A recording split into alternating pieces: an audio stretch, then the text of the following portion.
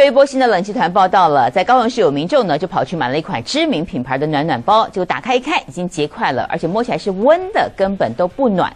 那么包装上还写着会发热二十个小时，不过他用了不到十个小时就失去了效果。他去药妆店询问，有热心的店员私下告诉他说，这款品牌的暖暖包呢品质不好，叫他不要买。许小姐拆开暖暖包，实在很纳闷，因为才刚买来，竟然就出现硬块。我买回家之后，就发现它里面就有硬块，然后而且啊，用不久就不热了。这款知名暖暖包，各大连锁药局都找得到，但民众却抱怨，不但一打开就发现碳粉结块，用起来温度完全不热。夸张的是，上头写着持续发热二十个小时，但八个小时就失效，根本是不暖包。实际到药妆店询问，连店员都说这款不要买，建议这个不要在这边买比较好。